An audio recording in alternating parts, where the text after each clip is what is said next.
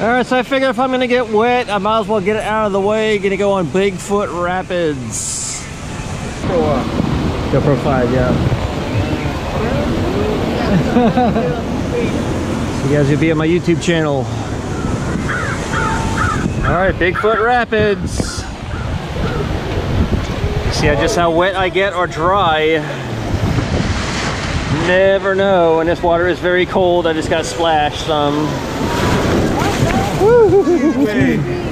Oh yeah, I got a wet bottom already. And it just started. Oh my God, that is cold. Oh dear God, that is cold. Oh my God. Wow, that is cold. Hey guys, what were you saying about That is super, super cold water. Wow, that is super cold water. All electronics, you know, has them out in their eyes. Yep, I just got yelled at. Having the camera out, so didn't get to show you the whole ride. I'll show you some of the ride on the outside in a moment as soon as I get off the ride vehicle. Typical ride vehicles. All right, all right, well, I didn't get too wet on the Rapids ride, which is good because I didn't really want to be completely soaked, but it's still early, so if I did get wet, I would have been able to, you know, dry with the, with the sun out. So unfortunately, I wasn't able to show you the whole ride, but it's a typical Rapids ride.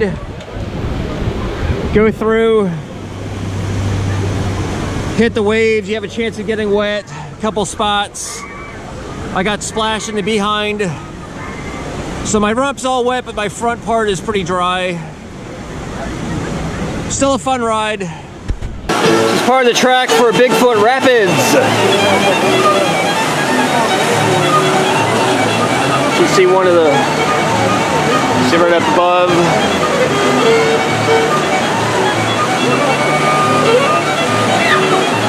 When you see one of them coming by, here we go, here comes one.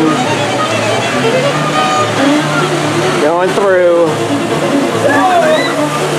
You get a good chance of getting really wet on this ride. On where you sit